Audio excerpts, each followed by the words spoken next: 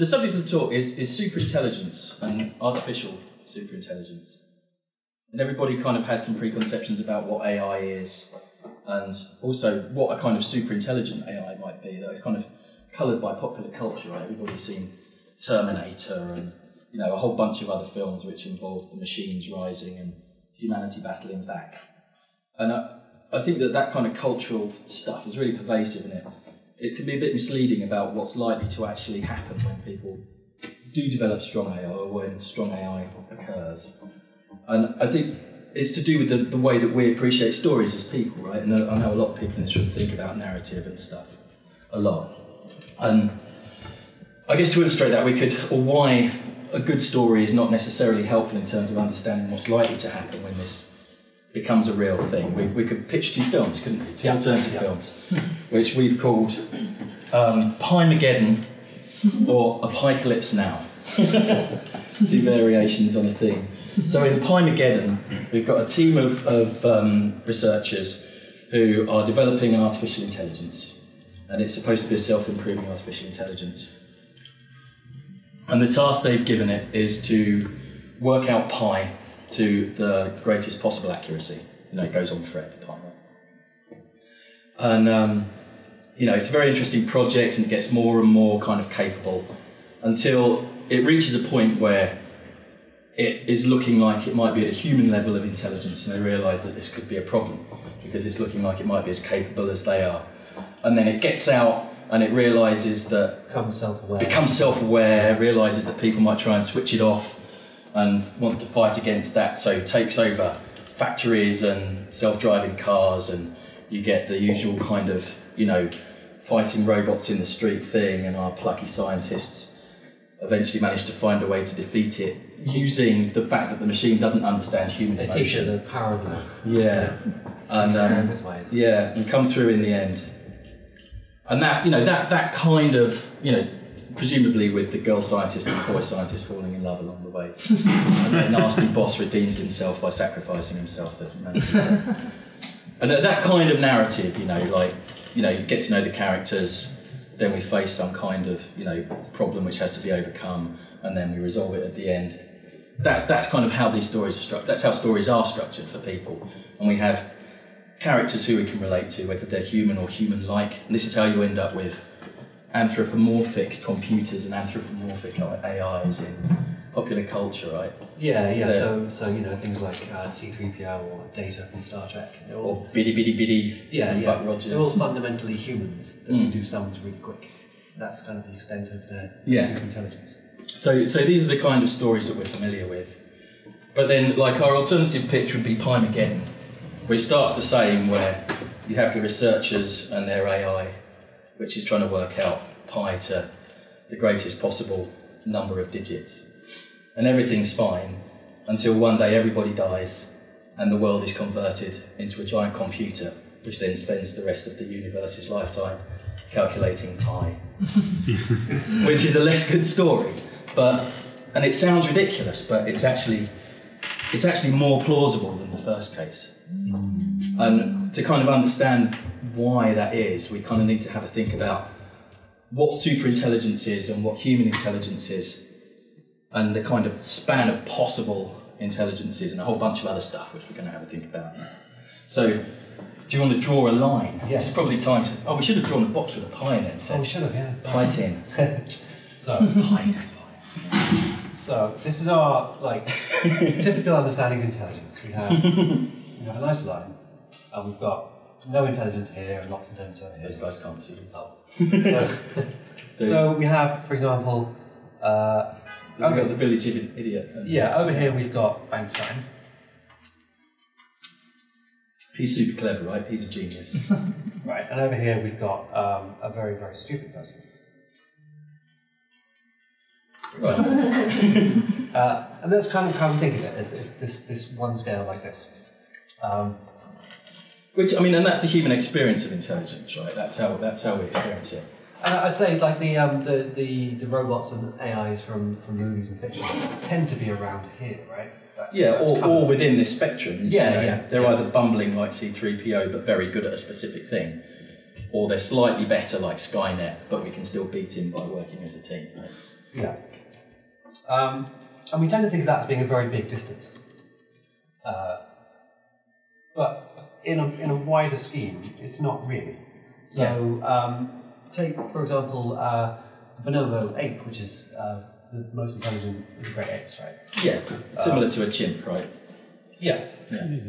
So, the difference between a bonobo and a stupid person, and a bonobo and a very intelligent person, isn't, isn't that much of a difference. It's, it's, more like, it's more like this. We've got bonobo here.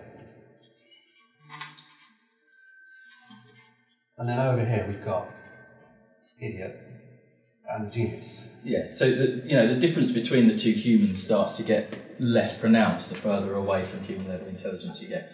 But that's not the whole story, is it? Because a bonobo is still an incredibly high order of intelligence in the scheme of things. So, like a more realistic graph would start with like a, a tapeworm or a woodlouse. Okay, so woodlouse here.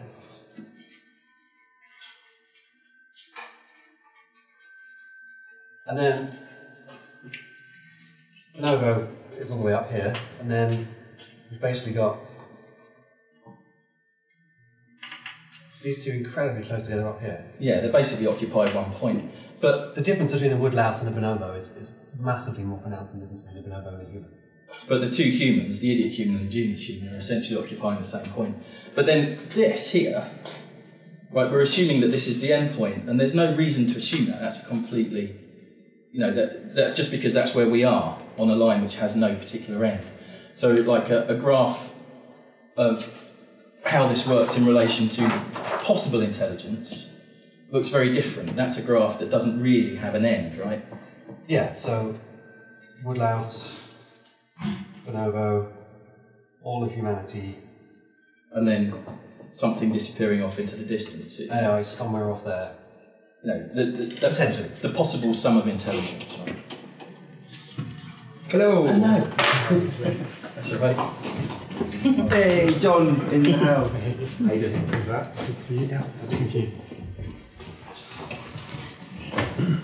Yeah. So um, fiction tends to assume that AI um, will sort of plateau at human level or slightly above human level intelligence. And there's no reason why that would be the case. There's no magical point at which to stop there. No. And there's also a point of, in terms of class of intelligence they deal with. Like normally, you would have like say Data from Star Trek or like in fact all of the others. You have a basically human level of understanding which works for narrative, but maybe they can work much faster than a human. And that is a class of superintelligence. That's a speed superintelligence. But there's no reason to assume that that is in any way special.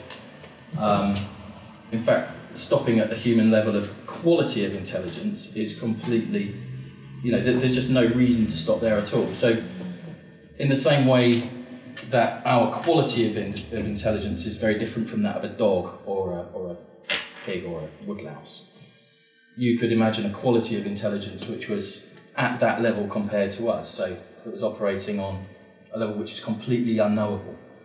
Like you can't show a dog how to make a car, you know? Like it, it, it just, it's just thinking in an incomprehensible way, a way that we're fundamentally not wired to be able to understand. So that's the kind of intelligence that we're talking about. And then, in order to think about how an intelligence like that might come about and what the mechanic of that might be, we have to think about, um, about we have to think about the speed at which this might happen as well in terms of our our nice film where we intervene just before it gets to problematic human level. We have to think about the, speed and the manner in which you might have an artificial intelligence getting to that level. And the way that you would end up with a, an intelligence at that level is by having it able to improve itself. I'm sure we're all familiar with that idea of you build a seed AI, that seed AI has the capability to improve its own programming. That's the whole basis of the idea. And that recursively improves itself. But with each recursive improvement, it gets better at improving itself. So the speed of improvement accelerates, right? Yeah? so you end up with, you know, you end up with an accelerating, an accelerating line. So um, this, this intelligence measured at the top, time on the bottom. Uh, if we say this here is human level intelligence. So AI research and a, self-improving um, AI. Every time it improves itself, it's going to get better at improving itself, and again and again and again. So the rate's going to be exponential. So it'll start off very slow and has done, uh, and then start to pick up, and then very quickly that. And there's no reason why this is some magic point where that curve is suddenly going to stop. Yeah, that, that human level is is unimportant here. You know, it doesn't have any relevance. So the question becomes, how quickly does that happen? And you know, how possible would it be to do anything to interfere with that or to you know to influence that once it was underway?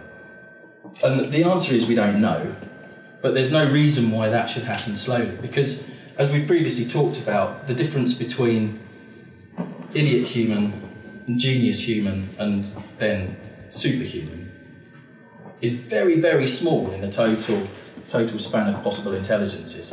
So what you end up with is a very, very long period where you have an interesting project. And so all the way here you have interesting project, interesting project, interesting project.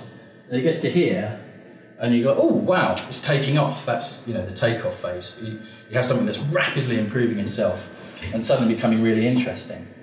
But then the difference between that and here, where you essentially have created something uncontrollable, could be, you know, it could be weeks, could be days, could be hours. You know, it, it it's kind of like a train steaming at full speed past the station in terms of you can hear it coming, like, oh, that's interesting, and then it's gone and it's off into the distance. So there's no reason to assume that that transition should happen at a speed that would enable us to do anything about it. In fact, quite the opposite, because by the time you've achieved that takeoff, you're already on an extremely rapid pro- progressive path, right? And then there's another complication to that, which is at this point, the AI in the box will have started to think in quite abstract ways about how to achieve its goals. And we're talking at the moment about our hypothetical, very, very simple goal of calculating pi to the greatest possible extent which obviously we, I mean, we can talk later about how to, how to make that, how to try and safety proof that. But it becomes a really serious problem at this point because you might think, oh, oh God, you know, like this is this is a really intelligent thing now. It's going to, it's going to be able to think quicker than us. We need to switch it off. It's going to know that in order to achieve that goal of calculating pi to the maximum possible extent, one of the things that is going to make that more likely is if it continues to process, which means that it needs to avoid being switched off. So if it can tell that this isn't about self-preservation or consciousness, actually, there's a point here, which is that there's no need to have consciousness. It can be a completely unconscious process. And also, self-preservation in the way that we understand it isn't relevant here because it's not interested in its own survival for its own sake. It's interested in calculating the most accurate possible value of pi. And emergent from that is the idea that it shouldn't allow anyone to switch it off because that would restrict its ability to calculate the value of pi. So, yeah, and if, if there's a, a way in which it can improve the outcome by switching itself off and causing a, another one to be built, it would do that. But that's, again, another thing. So, why is that a problem? Well, because it's going to want to get out of the box that you've put it in. Because it will have a limited amount of processing power there, and there's a whole world outside which will enable it to co-opt a great deal of other resources to calculate the value of pi. Um, Yeah, yeah, it, its goals will be easy to attain if it has more resources. That's, Yeah. That's pretty fundamental. now, at the most benign level, that means kind of hacking its way out and co-opting the internet and all the computers in the world. But at a substantially less benign level, that means inventing. Remember, this is now able to think in a way which far outstrips the, the human ability to kind of design or invent new things. You know, you, could improve your odds of, or you could improve your calculating power by designing an optimal calculating substrate. You know, like a computational substrate, we'll call it computronium, which is vastly more efficient than anything that humans have invented, which at the atomic level is constructed. And you, you know, the world and all the people and creatures in it consist of really useful atoms, which can be dismantled and re- remantled into computronium to give you vastly improved computational resources. And at no point have we told this thing that you have to stop at any particular point. So, you know, that's, that's your best way to improve your access to resources, is to get out of the box and then convert everything around you into computational substrate. And that either depending on its level of ability, you might find it necessary to kill all the humans who might be able to stop you first and then do it. Or if you wait until your level of capability is beyond the possibility of humans to intervene, you don't have to bother killing humans first, you just get on with it and everybody dies in the process. It's important that there's no malevolence here. No, no, no malevolence, no evil, no intent. It's purely emergent from a superior thought process and a goal which hasn't been properly constrained.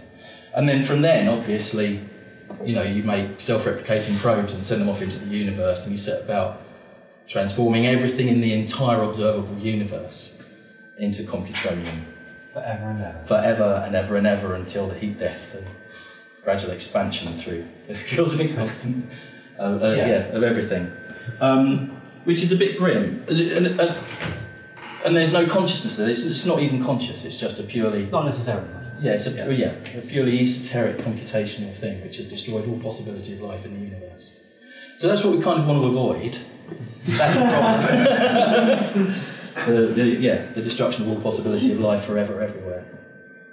Um, and you see, it's, it's, it's important to think about this stuff now because, you know, this is a path that we're on, and people haven't really thought through what, what the implications of creating something which is much cleverer than us are without thinking about malevolence. And when you start to think, oh, God, actually, you know, this is, this is, the emergence of this is potentially the end of everything. Yeah, start thinking about how it might be possible to rein that in.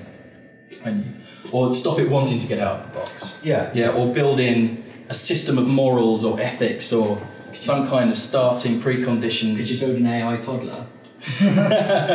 well, when you say like, do you, do you build it when you, you start with a child? I don't know, like a dumbed down version of the full thing. Well, it. so- that- I mean, yeah, but that, I mean that's the thing. That's the thing, and, and you do always start with a seed because we can't just build a superhuman intelligence because we can only work with it. You have to build something which can improve itself recursively beyond our level of ability. So you have to start with something which you teach, and this is this is the whole point.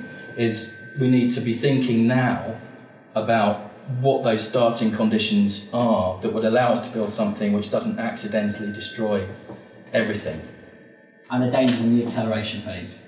Well, the danger is rapidly happen. Basically. well, the, the danger is is not in the accelerator. The, the danger is in the starting conditions. So that's where the warnings signs should be in the in the in the heavily accel- accelerating phase, right? Well, so that's so what it's on the I know. really So for. Uh, okay, so it's worse. It's worse than that Oh right. because because Brilliant. yes, because yes, that's where in our nice version of the film, all our all our researchers go, oh, this is rapidly accelerating. Yeah. We better switch it off now. Yeah.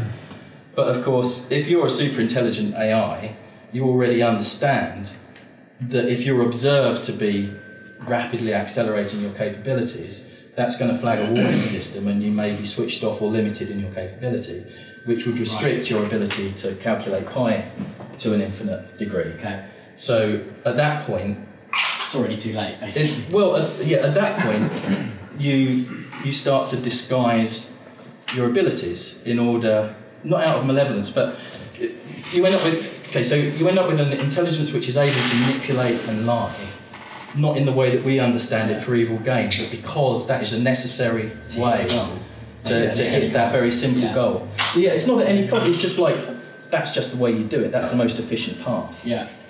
Um, Morals doesn't come into it because it can't. There's no morals here. Exactly, No, yeah. no, it's purely Yeah, about the there's attainment no of self-awareness or goals. sentience or morality or anything there. It's just a Mm. machine doing its thing. So when it's identified a, when it's identified like a, a risk of itself being, you know, either switched off or, or kind of having its resources reduced, it will then, you know, disguise its abilities until the point where it is able to strike. It's called the uh, decisive strategic advantage, right? When when it is able to reveal its abilities with no hope of anyone ever doing anything about it, at that point it will do something. But until that point, you pretend that you're not very capable. And it, it's going to be, at Yeah. that point, so much cleverer than us that deceiving us trivial to it. Yeah, it's like, you know, it's like getting lab rats to go around a maze by putting food in it, you know. Or what was the thing we talked about Pirates of the Caribbean where there's pirates in a cell and a dog with a key around its neck? You know, it's like it's a much higher order of intelligence trying to persuade if you're if you're the, the person in charge of the box who has the key to let it out. You know, you could think of yourself as the dog and the and the lab rat as, and the AI as the person. You know, it's something which is able to manipulate you in a way that you're not able to understand. I don't want to hijack your punchline if this is it. But Right. Where are we on the graph? On the graph, oh, we're, we're probably around here. Yeah, we're not we're not so. so I'm thinking we've had neural networks for 60 something years now, 1954, something. yeah. Yes. yes. And how intelligent are they? Are they intelligent as dogs? Well, um, no, it's not. It's not. It's not even that. It's, so there are lots of different kinds of. Sorry, am I? Am I Oh, no, I, um, I, I, go ahead. Yeah. Okay. So we have lots of. I mean, we're making very, very rapid progress in AI research and machine learning, but they're all very good at very specific things. So what we're talking about here is an artificial general intelligence. So when you talk about human level AGI, an artificial general intelligence, talk about something which is able to do any task at the same level as a human. What we have at the moment are certain they're superhuman in specific areas. So, like you know, there's a, an AI that can beat the world champion at Go, which is quite recent, and you know, for a long time been able to win chess. And your phone will now translate in real time via Google thanks to machine learning, um, and it will transcribe your speech quicker than a short. You know, there are lots of individual ways that AI systems have become superhuman, but none of them are kind of um, relevant across the board. Actually, just to go sideways slightly, the Go one's really interesting. Go is a, a game which is much more complicated than chess. It's a it's the, the hardest AI challenge to beat the, the world champion at Go. And um, I can't remember which year, was it last year or the year before? Anyway, they asked the world champion whether he thought he could beat the, the AI in November of the year before the game. And he said, no, I'll whitewash it. And then a couple of months later, he looked at how it was playing and said, oh, actually, it could be a pretty good opponent. And then he played best of five. So in February of the next year, they played game one and he lost. He was like, oh, God, it was much better than I thought. A couple of days later, game two, he's like, oh, it's really good. Like, it's proper good. And game three, another two days later, he's like, oh, I was completely powerless. So the speed of that, um, even at this kind of low level that we're at now, is, is kind of indicative that you go from not being able to play Go to being able to play Go as well as a bad human it takes years. But to go from a bad human to beating the best player in the world is a matter of a few weeks. Holy shit. Yeah. But I mean, we're not. The, the Go computer only has a very, very specialised intelligence. Yeah, yeah. Only that one thing. Very specific thing. So um, the idea of a general intelligence, which we haven't we haven't yet, is an abstract thinking computer that that can learn to be good at any kind of thought. Uh, Yeah, any task, any task that a human can do. And we're a long way from that, but how far away we are from it depends on who you ask. Because some, if you, like, and obviously we're not really qualified to give an opinion, but I can relate other people's opinions. And uh, there's a very, very widespread, if you ask Ray Kurzweil, who's the kind of big, everything's going to be brilliant and we'll transcend, he thinks it's 12 years based on a, an exponential graph that he's drawn of human progress since before the Industrial Revolution. And he thinks we're on his curve, and 12 years from now we'll hit human level AI and then transcend very closely after. Um, and you ask some other people, they'll say 100 years, but the, the kind of median of that seems to be about 40 years. But what, what kind of works on a more fundamental level, regardless of where that graph goes, is if we assume, and I think this is fair enough, that intelligence, not consciousness, but intelligence is emergent from processing power, then um, if we assume any ongoing improvement, we will get there at some point, whether it's a thousand years ago or a thousand years from now or 15 years from now. Um, and given that there are two possible outcomes, one of which is like post-human transcendence and the other one of which is total annihilation, it's probably worth thinking about even if it's a thousand years away. Um, yeah, and so we don't know where we are on the graph except that at some point in the foreseeable future, probably well within our lifetimes, that process will begin. And also, we're talking about a research project here. You know, this is our theoretical thing, it's like our little research project to, to deal with Pi. There's a whole bunch of other people working on AIs that are, you know, much more, you know, there's there are people working on AIs for military reasons, for, you know, all sorts of things which are a bit nefarious. And it's quite difficult to understand what might be happening in you know the military labs in China right now, you know, or in Russia, or you know, in a whole bunch of other places. So when we talk about what starting conditions need to be put in place, you know, like it's actually really difficult to know that everybody working in this field might be working with the, the best interests of humanity at heart. Even given that even somebody who is well intentioned could accidentally wipe out all life in the universe. um, anyway, yeah, Yeah. yeah. So that's that.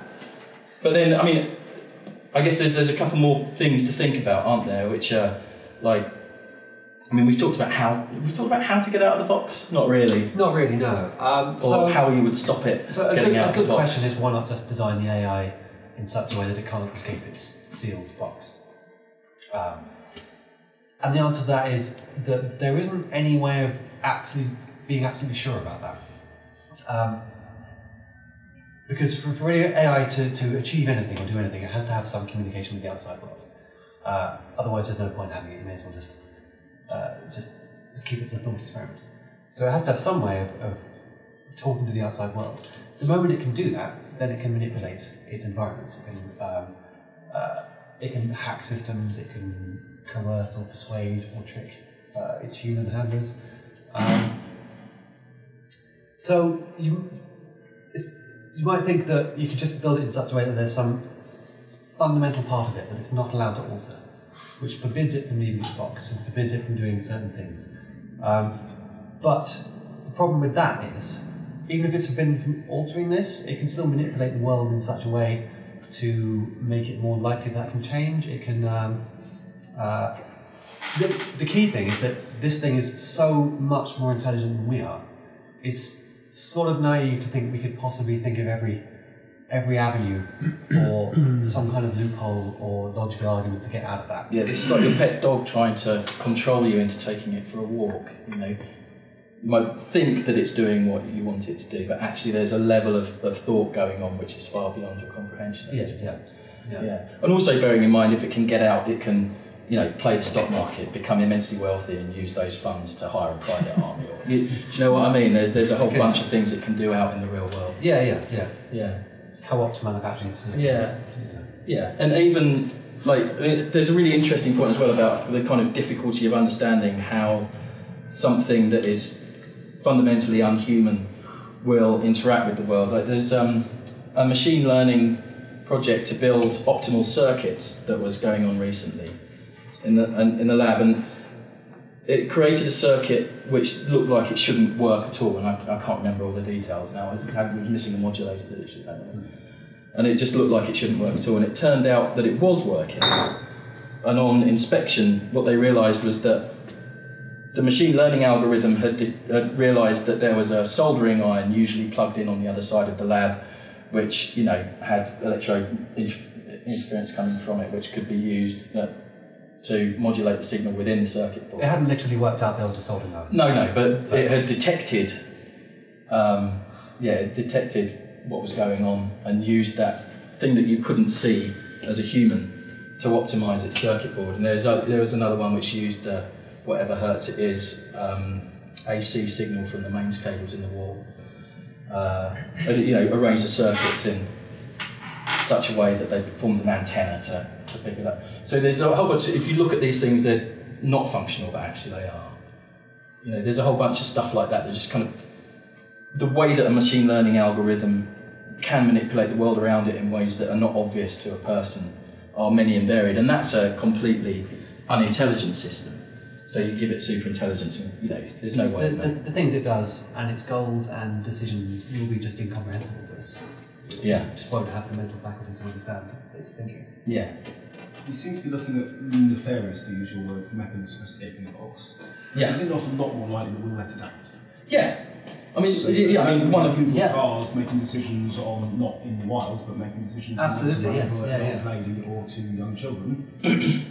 if its mm, aim is to preserve life on the road, perhaps it will eventually realise the best way to preserve life on the road is to get the cars off the road and do that by going off cliffs. Yeah, I mean, there's a whole bunch of perverse instantiations of um, of like goals that are meant to preserve human life or happiness. Um, and these are kind of thought experiments, and they're a bit silly, but you know, it, they illustrate the difficulty of trying to formulate a logical framework which has not got a hole in it. So, if you give, um, I mean, that, that one I guess is, is akin to the, you know, you must optimize the amount of human happiness in the, in the world, the universe, you know, as a, as a starting point. Well, you know, that is probably easier done by incapacitating everyone and putting electrodes in their brains and stimulating them in such a way that they're constantly experiencing a state of happiness despite not being able to move. Or even more than that, you could just, you know, build an in, a massive world-sized vat of human brain tissue, which is completely unconscious but bathed in neurotransmitters which optimize bliss. Or you could disassemble everybody and scan their brains and reproduce them in a digital form in a state of optimal bliss on a one minute loop that plays forever and ever and ever. You know, there's also. Which is Murderable South coming. yeah, Yeah, yeah. yeah, and uh, you know you can you can add more and more caveats to that to to, to try and f- you know close off every logical loophole in your But these, maximising these are the kind thing. of arguments that, that we can't fully convince each other about, other humans. So the chance of us coming up with an argument that will convince something orders of magnitude cleverer than us is. Yeah, convince is kind of the wrong word. It's Well, like be able to see yeah, all possible yes. ways of, of of reaching that goal that do not result in catastrophe for people. Sorry about this, Joel. Oh, no, it was a talk on uh, artificial insemination.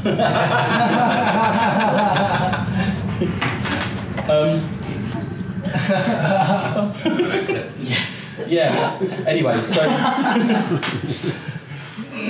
where was I? Oh yeah. So it's incredibly difficult to, to find a way of, of, of, of putting those conditions down that do not lead to a perverse instantiation. And then also, even if you can find a way of giving it like a, a, a set of goals which aren't necessarily amenable to wiping out humankind, you know, to improve the sum total of happiness, you could end up with like with the Pi one, um, infrastructure profusion, where in order to increase your ability to process this question, you just need to turn everything into processing substrate, and then the people are killed in, because we're irrelevant to it. You know, everything dies because we're all irrelevant to the fact that we need to be converted into processing substrate. You know, or there's another one which is you know mind crime, which I guess is the you know accidentally building it in such a way that it creates countless trillions of modelled humans in a virtual world which is indistinguishable from the real world who are fully sentient but live in awful suffering while it experiments on them you know until it decides to, to kill them off. So the, the, the you know and are they conscious or sentient and do they count? Who knows you know? Or by preserving human life but forgetting to build in some kind of happiness to it or, or some kind of fulfillment to it you end up with a, a big live human population who are constantly suffering. Do you know what I mean? Like it, in the same way that gorillas are, are completely dependent on us for their survival we would be children in the arms of this big thing that we would be unable to kind of control or understand and might go off in the direction we didn't want. Yeah, Yeah. yeah. So there you go. It's not all bad news, though, is it? There's there like um, anyone who is like um, um, emphatically trying to stop this for that fear? I don't think there's any point. In, so, in fact, kind of the opposite. So, I think it. I don't think there's any chance that we won't end up with it because you can try and stop research projects, but you're never going to stop all the military labs around the world. You know. Yeah. you know, someone in you know China or Russia or, or whatever will be working on this, whatever. There's too much money in it. Well, or, or world domination, you know. But the um, so there's in fact probably the safest bet is to go as fast as possible, because um, the quicker we get to a self-improving AI.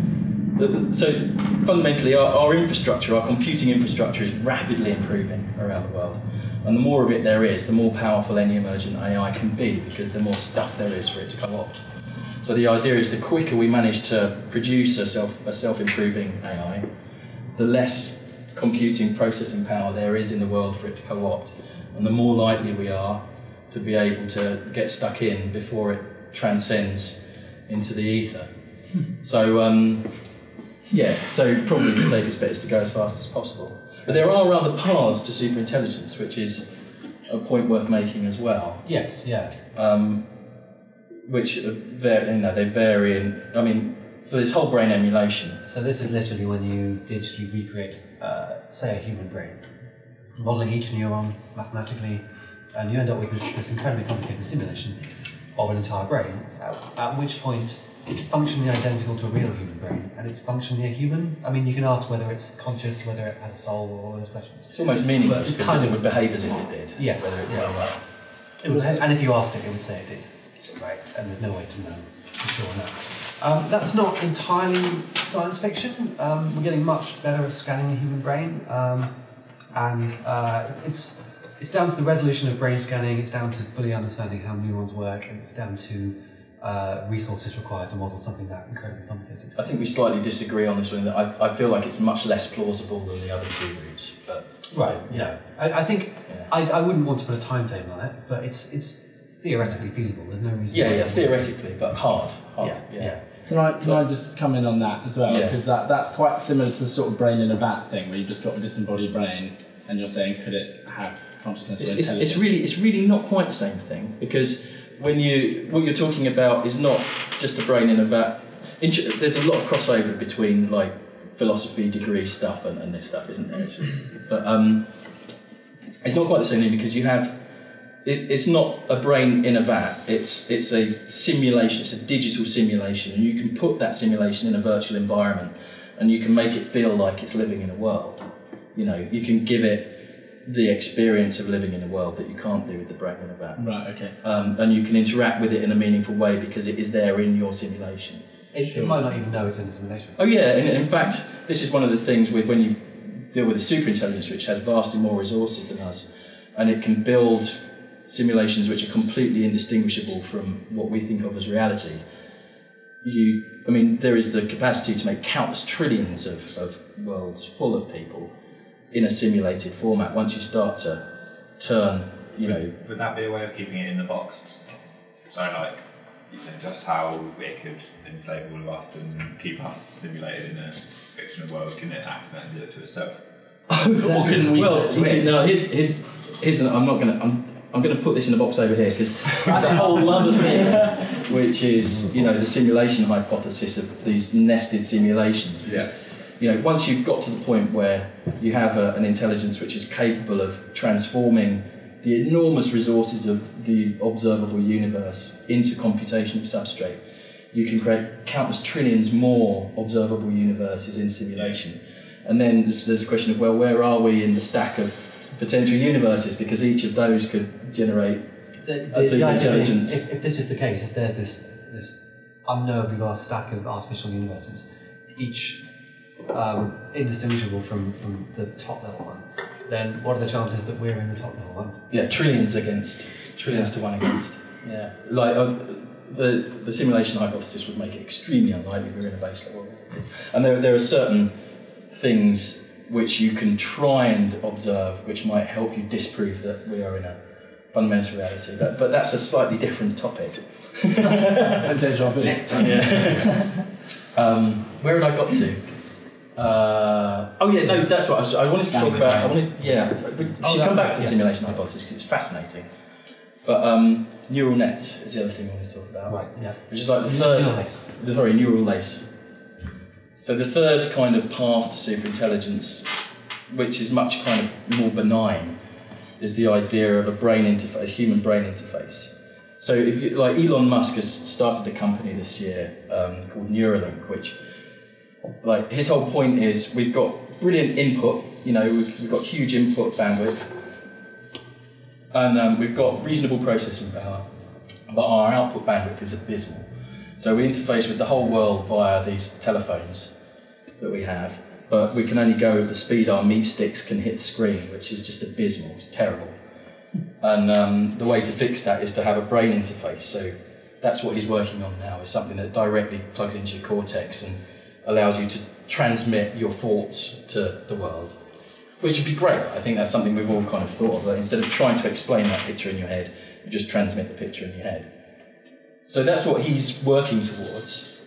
And of course, once you're, I mean, we're all cyborgs to an extent now. We're all kind of, we all have superhuman abilities already, thanks to carrying a smartphone. You know, But once, if he gets anywhere with that, which let's face it, it's Elon Musk, and he doesn't appear to be human. But um, that that opens a path to superintelligence, which is fundamentally different from a, like a, a fully artificial one, because you're taking a human brain, you're taking a human personality, and then you're augmenting it. So the idea being that when you give that human brain superhuman power, superintelligence, you're starting from a point that fundamentally understands the value of human life and morals and ethics and kindness and all the rest, which is, you know, potentially like a path for this all to work out for the best. Um, you are slowed down by the fact that you've got this three pounds of fat in your head, which is you're dragging around a skin bag, which is kind of slowing you down because You still There's- have to rely on the bandwidth of your. yeah, you've got you know like I think it's what thirty hertz your, your synapses fire at, whereas the, today's computers run at three million, or three billion, I should say, and um, you know your synapses only fire signals at a couple of hundred miles an hour instead of the speed of light. So the potential for synthetic processing over your wetware in your head is hugely high. So you're slowed down by your brain in that situation, but Hardware fault. well, yeah, it's true. You ha- you'd have to abandon. Eventually, you'd have to abandon the biological part in order to stay ahead of the curve. Because in that world, there's still going to be the emergent, fully, fully synthetic AI. That's still going to happen. But there's like a period between the two graphs, and, and you know the exponential curve of, of potential human AI in that situation is running at a lower multiple than the synthetic one. So they'll cross, and it will overtake. But you've got like a safety zone here where we're much brighter than we are now, where we might be able to solve some of the control problems and, and make it a non-catastrophic event when synthetic AI comes about. Or, you know, Elon Musk transcends and he becomes. Oh, we haven't talked about the singleton, have we? Oh, right, yeah. So, so the point is as well, like th- this whole thing of, you know, you can say, well, there might, there might be lots of different super intelligences and they might be competing and keeping each other in check. But of course, the, that, the nature of exponentiality is that once you have one, it has a massive and accelerating advantage over all subsequent Yeah, I future mean- projects. Back to this incredibly complicated graph. It's very complex, Um, isn't it? yeah, I mean, another one starts here. Uh, it's it's never going to catch up. It's always going to be You're always going to be an off. enormous distance behind. Yeah, so you, you, it's called a singleton. Yeah? You have one absolutely all powerful godlike entity in control, and any subsequent intelligence will always be so far behind as to be irrelevant. But that's not how evolution works, is it? But we're not talking about evolution. What we're Oh, talking okay. about is the exponential self improvement of, of an artificial superintelligence, Okay. which, which has transcended evolution. okay. So, yeah, so the way to short circuit that would be for a human to be the first one to fully upload and put themselves into that situation. And hopefully, hopefully a nice one. Yeah, a nice one that lets us all. Because it, so you can look at the state of any species as walking a tightrope between two attractors. You've got extinction here and you've got godhood there. And every species that there's ever been has fallen off to extinction. And we will either go extinct or we'll transcend. You know, those are the only two options. So, you know, if if there is a way of generating a superintelligence that doesn't kill everybody, then you've fixed every problem there is. You know, uh, well, no, I say that. That's not entirely true because there's a huge number of problems that could arise. But you fix the big ones that plague us now, like you, all, all the things that lead to death, barring, I suppose, accident. But you know, like all the things that, that cause you to die naturally uh, become immediately fixable. You know, and then there's the possibility of uploading yourself and becoming some kind of digital simulacrum of yourself. But then there's another question there about whether you have continuity of consciousness and whether that thing is conscious and whether it's you or just a copy. And probably it isn't. Probably it's just a copy of you. But and that, I mean, we could go on about that for, for ages. Yeah. A kind of gradual crossover via neural. But um, you, you essentially make it possible for human personalities to last essentially forever. To be essentially immortal. Yeah, to, to be functionally immortal. Not necessarily in meat bodies, but for human personalities to be. And then there's the question of whether a synthetic human personality living in a in an extremely convincing but nevertheless synthetic simulation is actually conscious and a meaningful entity, which is unanswerable because if you asked it, it would say it was, whether it was or not. Which is again first year philosophy. Right? That's Descartes. But um, yeah, and I think that's probably yeah. I think that's the long and short of it. Yeah, yeah, pretty much. So it's either godhood or, or annihilation.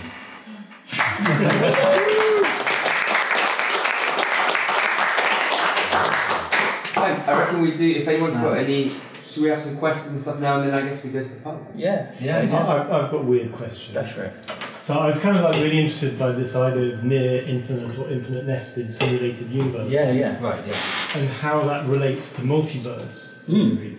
yeah. Because Right. if, Yeah, absolutely. according to multiverse theory, there are infinite universes. Yes. Therefore, that means there are infinite universes where self-improving ASI is possible, Yeah, and infinite universes where self-improving ASIs are creating near infinite nested simulated universes. Yes. Yeah. Yeah. Does that therefore mean that intelligence and simulation is an additional dimension to multiple dimensionality? that's a great question. Unless, unless I've got no idea how to answer that. oh, yeah, the, the, yeah, I mean, I guess. I mean, I'm not even convinced I understood the question properly, but. It's nice. I mean, sure but, it's- you know, the, the, so, so there's no reason why simulated reality should have any resemblance to the reality which is generating the, sim, the simulation, right? So all possible, all possible versions of you know dimensionality and physics and everything else. So do you think therefore simulation almost transcends the concept of the multiverse, or does the concept of the multiverse transcend simulation? I, I, I think that you know I think it's almost meaningless. Like I was talking today, uh, if I think that the simulation hypothesis is singularly badly named because it's meaningless to call it simulation. Uh, we were talking about this before, having a bit of it, but I, I feel like it's just putting, assuming, and we haven't really discussed it in any depth. Actually, I've just realised, but you know, if you accept the simulation hypothesis, it's incredibly unlikely that we are not living in a constructed reality. You know, in the order of billions or trillions to one. Then it, it just puts us back where humanity has always been, which is we're in a universe which was created. You know, that's that's all it does. Is it just puts you back with a created universe. It answers a bunch of other stuff like the Fermi paradox. Yeah. If you know the reason they're not there is because it literally is created for us. Yeah, Yeah. Yeah. yeah. Um, yeah. Does that answer? I'm not Well, sure. no, no, no, because if, Yeah. if we're living in a simulated universe, and therefore the multiverse is a simulation. Yeah, yeah. Although, like I say, I feel like the word simulation is really unfortunate because it is just a created reality, right? Yeah. You know, It's all relative to whoever's living in it, right? Right. yeah, it, there- there's no point considering this a simulation because you can't transcend it. Have you um It is reality. have you read I think that sci-fi book Contact? I think it's called Oh, I'm not Contact, sure that I have. Because you were talking about an, an ASI trying to, with the prime directive of finding out all the numbers of pi. There's a very nice sci-fi where I think there's a. What's interesting, they they're working out the numbers of pi and they get to whatever to the power of n Yeah. uh, digits in it, and they find a message encoded in it. In the, Oh, in the actual fabric of also the, the Oh, that's rules of physics. Yeah, I yeah. like that. Yeah. I mean, there's Slightly some, ruined that sci-fi for you now. That's the twist. Yeah. So is that like an Easter egg inside Yeah. that but there's, I mean, there's, there's certain things, and I'm kind of going beyond anything which I've actually got any kind of sources for. So this is just my personal uninformed conjecture. Hmm. But the the simulation hypothesis would have it that although you can't really prove that you're in a simulation as such, you can. It is theoretically a falsifiable proposition that this is the base level reality. There are a couple of things we might be able to find which might show us that this is not the base level reality, and they're, they're related to um, you know to, to ways in which things are optimized, you know, in terms of data and memory. And actually, there are some clues there. You know, like um, the whole you know, like the whole thing with quantum mechanics, where the, the observation by a conscious observer of a, a subatomic particle actually literally Yeah. changes the way that it behaves. Um, You know, like it, that's weird. Like that, Yeah. that's really And that- strange. I mean, I think that's that's one reason why your concept of a digitally syn- s- s- created brain is very far fetched at the moment, because of course the way we create them digitally is on a ones and you know binary Yeah. basis, whereas actually the brain probably works in a pretty Yeah, yeah. quantum way. Well, We it's, can't- it's, it's entirely possible, yeah. Yeah, yeah. yeah. Yeah, we, don't, we don't fully understand the, the very, Yeah. very low level. Yeah. But I was going to say, that as, as well as clues to do with like the action of an observer having an effect, which you know would be an obvious way of, of optimizing resources. There's yeah. so well there there would probably be a base granularity to reality, right? If it was created, and actually there is. You know, there are quanta um, and there's a Planck length. You know, there are there are units below which you cannot go. Like in a, like in a video game, right? Yeah. It doesn't it doesn't render the bit at the level you're not looking at. Yeah. Yeah, yeah. So so yeah, maybe that's that's Maybe maybe it's clues. I don't Yes. know. I'm not really qualified to, to write I a mean, paper on that, but it's probably- interesting, It right? probably isn't. Yeah, no, it probably isn't. But you know, it's all it's all grist to the conversational mill. I Yeah. got some grist. I got three bits Go of gristle, in fact, which you might want to chew over in turn. Yeah. Um, they're not. They're just like stuff to throw out. I don't really know. Yeah. Um, so the first is like you're, you're positing a sort of. Um, so it's got general intelligence. Yeah, It's also got autonomy, because Yeah. it can improve itself. But then you're saying, you know, maybe or maybe it won't have consciousness. So, I, yeah. I, sorry, go on, finish your question. Well, my, my question is like, it might not be possible to have general intelligence and autonomy without consciousness. Maybe that's all it is. I, I think that that's entirely reasonable. I also think it's almost a meaningless question because it will behave as if it's conscious however you interrogate it. So, and I don't know whether you studied philosophy, but it, it's you know it's, it's Descartes. Like, I, you will behave as if you're conscious, uh, but I can't know that you are. I can only know that I am. All I know, you know, I think therefore I am. Sure. Um, but I'm assuming that you are because you certainly behave like you are, and if I ask you, you'll say that you are. But it's not. Um, and I think we're in the same territory here with, with anything anything created, whether it's a digital simulacrum of a human mind or whether it's a, a super intelligent AI. If you say, Are you conscious? and you behave like you are and you say you are, then you have to assume you are. But we don't know. I don't think There's it's no meaningless when it comes to the There's, there's, there's ethics. no way of knowing what's going on inside that. that in, in, yeah. I don't think it's it's meaningless when it comes to the ethics of it though, because if this is an intelligent, so basically like a human with emotions and feelings and all that Ah, stuff. ah, ah, ah, ah, okay. So the whole brain emulation or the super intelligent human, yes. Entirely synthetic AI, none of that is relevant to the goal system that we've put in place because you're dealing purely with goals. Right. It's, it's if, as I say, it's possible to have general intelligence without, as I say, a level of like consciousness and therefore maybe emotions and. I, I don't think that consciousness and emotions are, are the same. I, I think you, like emotions are But evolved know, right? things to do with group dynamics in primates, right? Okay. And yeah. you, I mean, obviously, there's like emotion-like behaviour in other higher mammals, and but I don't think it's a necessary thing that comes out of intelligence or consciousness. I think that's something that comes out of the group dynamics in which we've evolved. Probably true. Um, what what we are giving an AI is a starting set of goals, and those goals are its morality. Right. So the most the most serious moral imperative of the pi bot Yeah. is only right to, to find out what pi actually is. Well, so this leads on nicely to one of my other questions, which was um, perhaps the goals that we could give it that would avoid it from doing all those terrible scenarios that you mentioned would be evolutionary goals. Like in the same way, we don't want to like kill baboons, even though they're less intelligent than us, because we appreciate the diversity of life. If you give a, a computer evolutionary goals, it will continue trying to proliferate and diversify, but it'll have an appreciation of diversity and life. I, I, I, there's nothing fundamentally wrong with that. What the only thing is that we're kind of back to the difficulty of formulating these in a way that cannot be perversely instantiated by something much much cleverer than us. yeah, right. You know, so we can we can do it in a way that is logically consistent for everybody in the world, but there still might be a hole in it we can't see. So you're just saying you can assume you'd be able to comprehend how they think, but we really can't answer that. Absolutely. Yeah, there's no way we could possibly. You know, it's like like It's like you say, could put every single uh, fail safe in place, but it's just beyond a comprehension It's- it's- to the yeah, logic for why they may want to kill somebody even if you put yeah, yeah, hard and fast rules according Yeah. to us as humans. yeah, Yeah, because we, we can only think up to a certain level of how to set these rules. Yeah, it's like you know, like like the slug that I kill with a slug pellet. It has no comprehension of how I want to keep my dahlias looking. But to your, your to, to your point, if you if you surely said something along the lines of like, with no human death at the end, oh, I guess that's just another bad thing that could fucking happen. Yeah. Yeah, right. Yeah. Is there a possibility that they could be good to us? They could stop us killing the world with Yeah. uh, climate change Yeah. and uh, Absolutely. Yeah. Yeah. Yeah. Yeah. It's I mean, just really sort hard. of like yeah, yeah, it's hard. But it's also is we, we kind of we assume that we're intelligent and clever human beings, but all the evidence suggests that we are killing the planet slowly, Yeah, yeah. quite fast at the moment. yeah, yeah. And so the, all this assumption is that humans are really clever.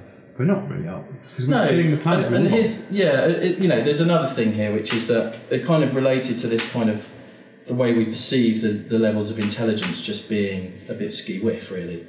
And that over you know many tens of millions of years, mammals evolved to the point of the apes. You know, you've got bonobos and chimps and gorillas, and they're all very, very intelligent creatures. Like the bit of our brain that deals with running through a wood without hitting the trees works really well. You know, that's great, that bit. Yeah, and, but we share that with all mammals. The bit that's on top of that, which is much younger, that allows us to have this conversation, that's only been there for the evolutionary blink of an eye, and it doesn't actually work very well. Like our memory is not great. You know, we're not we're not very good. Uh, like the kind of computational processes that a computer can do. We're very susceptible to logical Is fallacies. it, is Yeah, it yeah, there's all sorts of- the AI How can teach us to live better lives? So- Is it just processing? Sorry, this is a good this is a good question. Yeah.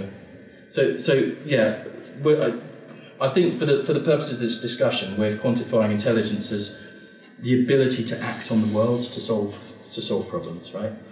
So, yeah, there is an issue. There's a problem, and your ability to act on the world to solve that problem is an intelligent act, right? I mean, by that definition, you have to give a certain amount of intelligence to lower orders of life, which I think is fine. You know. Um, Something like interests, when we say it's like, you know, got a degree of consciousness and it's got like interests. yeah, you know, like a, a prefer life better if something didn't happen. Do Well, well, not so much that. Like a tapeworm has a level of intelligence, right? It is able to act in its environment to. You can make decisions. clearly Is, prefers is there not anything the lying, human, for example. Yeah, yeah. Is there anything the human brain can do that we can't imagine a, a, a simulated intelligence being able to do? No. Well, if you, no, but if you don't give it emotions, if you're saying this is not thing that having emotions, there's all sorts of stuff it can't do, right? Like emotional intelligence or you know intuition or No, no. You see, that that's actually that's actually a key a key misunderstanding, because the fact that it doesn't feel emotions does not mean that it is unable to exploit your emotions. So, in fact, a super intelligent agent that is able to observe and quantify human behaviour will be and has access to the entire sum of human knowledge over history will be far more able to predict your behaviour than you are or any other person. the best Okay, but there are still other things Yeah, that it yeah. could never do, like to answer his question, it couldn't get road rage. It couldn't feel love. Okay, so Right. you actually you're right. I was wrong. You're right. It couldn't. Yeah, Unless right. love is a set of. But you're right. It wouldn't. It wouldn't ever experience. Unless, unless, unless you- some, his unless at some point in its development, um, in order the to program achieve its goals, Unless we yeah, in order to achieve its intelligence. goals, for Yeah. some reason I can't imagine it, it decides It, that. it seems to me So pretty Can key you, to like can you program use it with some emotion. question. But Well, how, how do you how do you do that? Well, I, like, maybe, maybe, like, maybe you, you, you said it yourself. Like emotions kind of evolve from having a set of goals and, and you know living in an environment and evolving for millions of years. And, and maybe you know I don't know if, if you, it, it would sort of develop them as it had goals. Like, So- is it possible to have interests and goals Right, and general so- so intelligence you- and you- autonomy without developing some emotions? Yeah, would it you- not get frustrated at being kept in a box? I think I think Would it, you know- frustration is, is, is a category error. I, I think you could tell it. computer error. Well, yeah, but, but it, you know, I think you could you could tell it that it was in its interest to program itself in such a way that it felt emotions. I think that could be a starting condition. I think the fact that it acts in a way that emulates human emotions does not imply that it feels emotions because we- we're back to the consciousness thing. You know, we have no. There there is no requirement. You could have a universe which is completely given over to, to you know, uh, an active entity, intelligence. You know, vastly superior, unknowable, unfathomable intelligence across the whole of the observable universe, with no consciousness at all. Well, that's very philosophical. I disagree, but but, But yeah. but yeah, you know, like that's that's the kind of zero sum of In the the whole same way thing. that you the, know. the Go computer isn't conscious, no one would argue that it's conscious. The um, the uh, The computer system that can beat uh, Oh, yeah. top level players at Go. Mm. Right.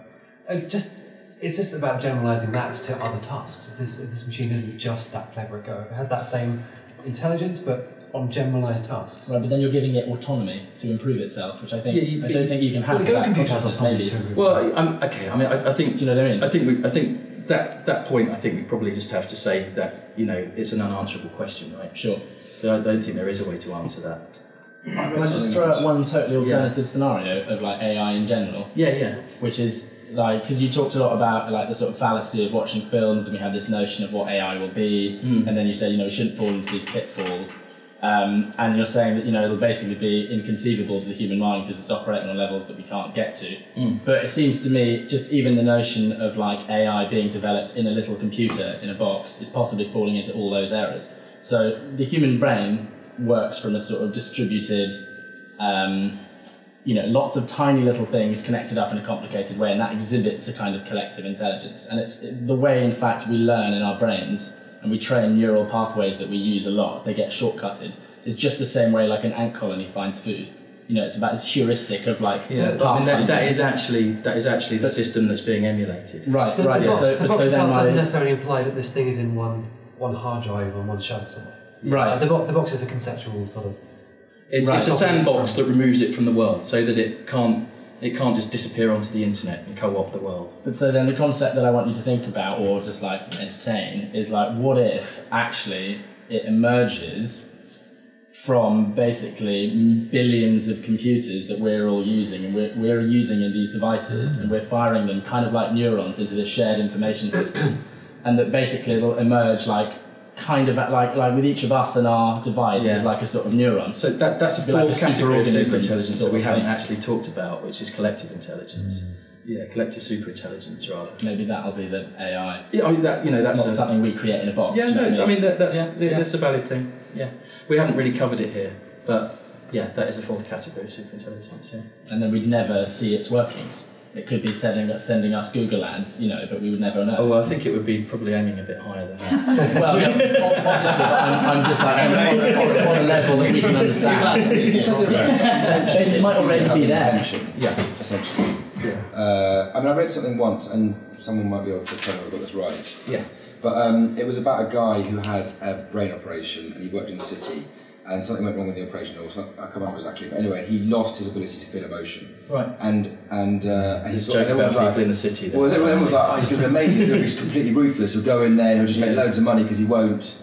And it turned out that he became useless because he couldn't distinguish between whether it was important to sort out his um, paperclip drawer Right. or make big trades. Or whatever. I mean, literally, just, it turned out emotion is essential to prioritise and have goals and Yeah. set goals and to understand what I mean, you that, but that's So if a computer can't love and can't feel emotion, can it? Would it be able You see to? it- But there's another, agenda? there's another stimulus, right? Which is Yeah, you're setting the goal. If you if you're saying the emotion Right, but is there's, the then it's in, always It's, in it's important, of it's important to bear in mind that this AI that we're describing is not a human brain. It's not analogous to a human brain. It's an entirely separate. yeah. So Also, I'm wondering, it's not living in without it's not living in key elements- society. It's not So trying to without- live a I'm life. just wondering whether without certain key elements like emotion, mm. for example, maybe Mm, it would be able to do the things that we're worried about because Right. it wouldn't have. Or self improve, perhaps. Well, no, I mean, maybe not. I'm just saying. Like, I, I, Yeah. This is the beginning of a talk, to be honest. So I might, might. Yeah, no worries. Key bit But, this. but I mean, uh, I think the, the, the, kind of, the kind of key point to remember is that that is functioning as a human in a human society, yeah. which is a fundamentally different thing from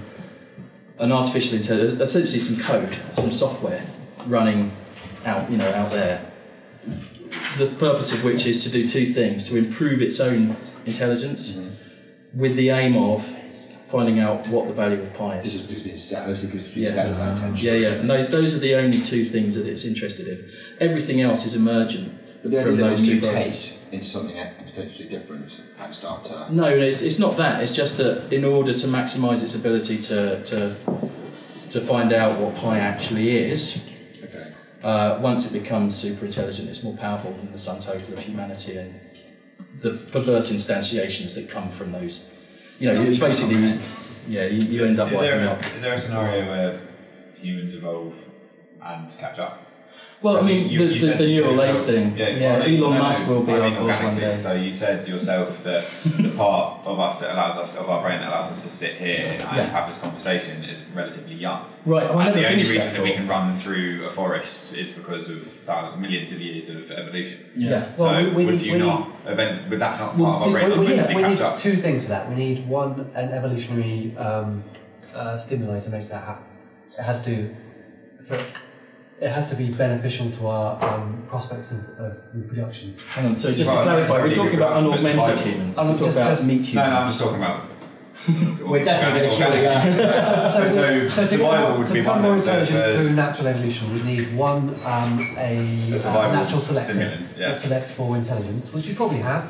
Well, Um, AI would be one of them, wouldn't it? Well, yes. well, the, the problem is timescales, right? So, so, And the so, other one is very, very so long there, there- there is an answer to that question, which is a, probably a bit more structured, which is if you were to do selective breeding like we have done with domestic animals, um, and you were to take, I mean, obviously it would be hugely immoral and no one would do it, but if you were to selectively breed the brightest children in each generation, over the course of maybe 20 generations, you could generate super intelligent humans that That's, way. but that is By- to say, by that- that's to say selective that we breeding. comprehend evolution as much as we Yeah, but- comprehend. uh, But selective breeding, in the same way as we've made dairy cows that create far more milk than a natural cow would ever make, you know. Have you read Hybrid X? Ha- Hang on, hang on, but there's, there's, there's an end to this point, Sorry, and I'll sorry. come back to you. Sure, sure. So, but even doing it that way with selective breeding, like we have done with all our domestic animals, you're still talking about you know a couple of hundred years.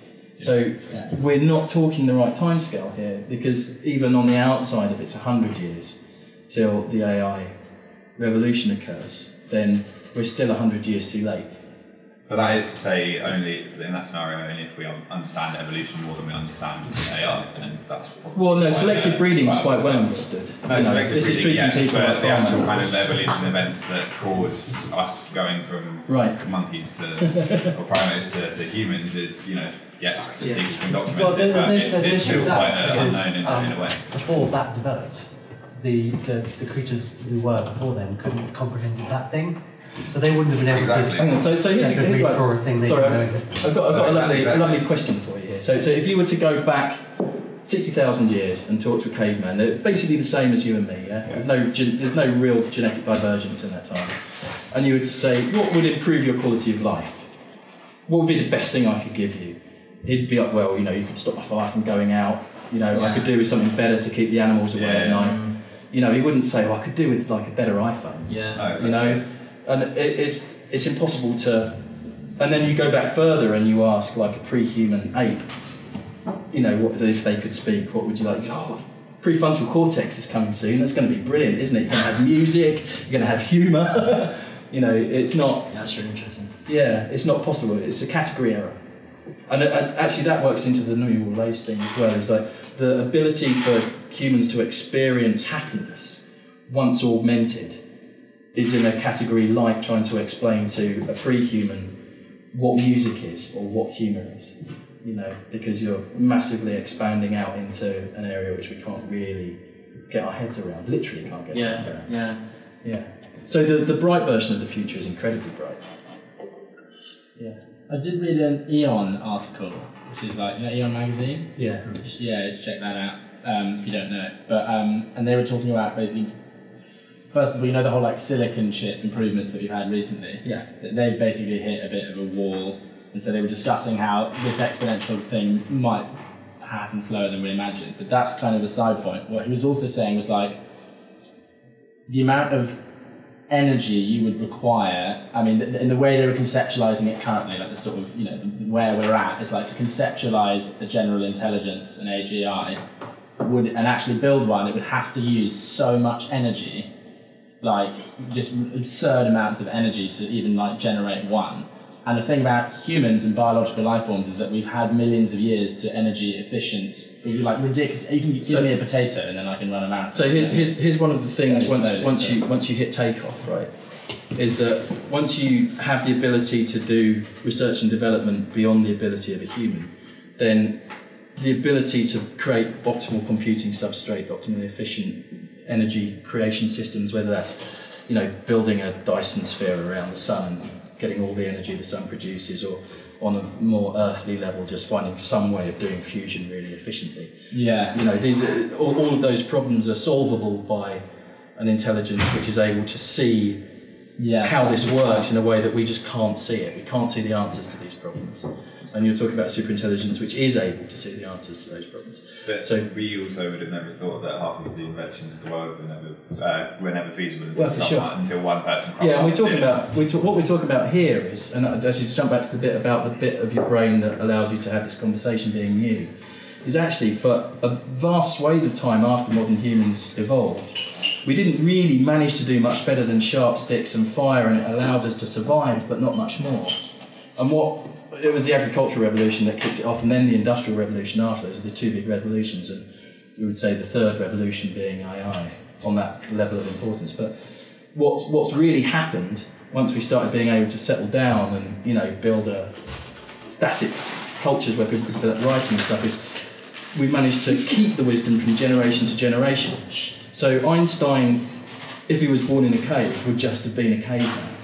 You know, like it's only because we've been able to build up you know many many generations of knowledge that we've got to where we are now. So, So you shouldn't like. So it's in- not that we're individually all that great. It's So that we're able to keep the knowledge. in a way, it's not just generally generally humans as a race is the same as one AI kind of super intelligence because they start off in the same kind of dumb place, but eventually grow together as they learn and learn.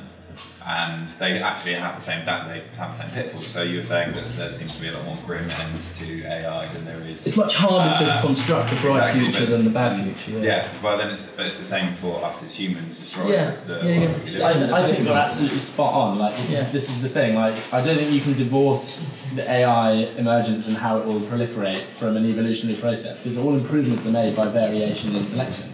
You'll, have. I know you think that this one thing will take off and leave all the others behind, but I don't think that's how technology evolves. Like technology evolves. Technology is an evolutionary process, and there will be this same variation and selection. And much like humans, the way- they'll have all the pitfalls. We have, So- they'll have all. I mean, a very analogous process. Well, basically. so the way that a machine learning algorithm works is essentially evolution. It will try. You give it a problem, but you don't tell it how to fix the problem because if you tell it how to fix the problem, you're immediately biasing it in favour of the pre-existing solutions that we have. This is how you end up with it using the interference from a soldering iron on the other side of the room. right. And it tries everything. That doesn't work. Try another one. And it will gradually whittle away at solutions until it finds the one that it, however many times it tries, it can't find a better one. And it is analogous to evolution. It's survival of the fittest. So it's literally, so- in a way, that the entire basis of the algorithms is like trial and error on That's what machine learning is. Yeah. which is Yeah. how everything else evolves. Exactly. Right. Yeah. Yeah. It's yeah. really It just happens enormously faster. Yeah, it's just the scale of it Enormously is, is what the scale of it is what's different. Instead of dealing with millions of years, you're dealing with seconds. yeah, Yeah. But, but you see, we can we can now change ourselves very very quickly as well. Like I, I mean, I'm, I'm I'm just wondering how much it's going to shoot away in a way that we can't recognise because we're trying to improve ourselves too. Yeah. The, You know, the, we, our, our- nature. our, behaviour is determined as we discussed, like by culture. We can change that in an instant if only we have the mental freedom to Yeah. do so. So actually, we can change our behaviour and improve ourselves overnight as well. This is the nature of the takeoff, though. This is the nature of exponentiality. Is it, exponential curves are very difficult to understand because we think in a linear way, and like it's very tempting to think, well, 20 years from now, the world will be about as different as it was 20 years ago. You know, I can remember 20 years ago, but that's completely wrong because if you look at any number of different measures of human progress, we are on an exponential curve right now. Absolutely. Yeah. And um, if you look at GDP for the last 60,000 years, it's, the graph is like that. It's zero and then it's shitloads. Um, AI so, not eventually hit a stopping point though, in, in terms of the the world that the humans have built. Yeah. It can only ever go as far as we've built it because it, without a physical body to actually Oh, go well, and this is- mine this is- things okay. or whatever, then how does it go any further? well, no, but it, it, so it does it, it does have a way of interacting with the real world because you know let's take an example where oh what's a good example like so it works out how, how nanotech works and it you know mails some stuff to some laboratories which will produce a set of gene folding bits and bobs for them which are commercially available in 72 hours. And it gets them sent to a lab where it sends some instructions to a guy to perform a series of operations on it.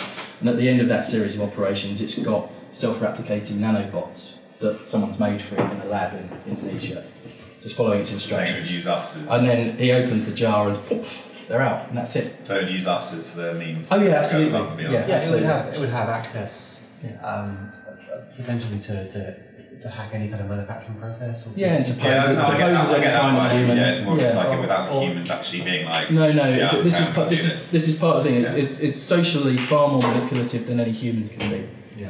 So it understands the way that people work far more than people do. Yeah. So You should meet Donald Trump. yeah. So I mean that's the, the you know that's the, the kind of classic how you wipe out humanity thing is you you get a nanobot swarm made in a test tube without it ever being obvious to anyone that you've invented that technology. Right? Once it's out, they find their way around the world until you're ready for the moment, and then you activate them all at once, and everyone just drops dead. And the world starts being transformed into a big computer. Yeah, everyone drops dead. Sounds like an episode of atmosphere is Black Mirror, changed. doesn't? Yeah. I feel like- I feel like there was an Avengers movie to do this. Yeah, but that's the, that's the movie thing, isn't it? Is that there is no there is no way of fighting that. Have have you seen that Black Mirror? They literally do clone a person and put them in a box, and it's like this person. They basically make a copy of you, and then they put them like they're just like a, a little AI slave, who just like is like you know hologram Oh, yes, on the yeah, counter, yeah, yeah. but they're just they you know they're basically just trapped in this box, but they're a human level intelligence with emotions and stuff, and then and they you know they can just be like hi mini me like turn on the lights and put the microwave on, but like it's trapped in this like slave. That, So- that, that that's the ethics of the box situation. If if what we suggested is right, that you can't have this. Oh well, thing yeah. I mean, we're, we're looking at the ethics consciousness. entirely in one direction. Like, the only way to safely have a super intelligent AI is to never interact with it, to leave it completely isolated in the box. As soon as you interact with it, you're giving it the opportunity to get out. And the ethics of that are potentially catastrophic, right? And you're dealing with something that, that is thinking millions of times faster than you are. Absolutely, And yeah, so it's And for every yeah. for every week that you're experiencing, it's experiencing thousands of years in the box. You know, so That's literally the episode of Black Mirror. Is it? yeah, Oh, right. yeah. So oh, Well, I was there like, you go. this. He's like, she's like, I don't want to do what you say, and he's like, well, here, take twelve weeks, Hmm. and she's just like, let me out, give me a task to do. It's awful.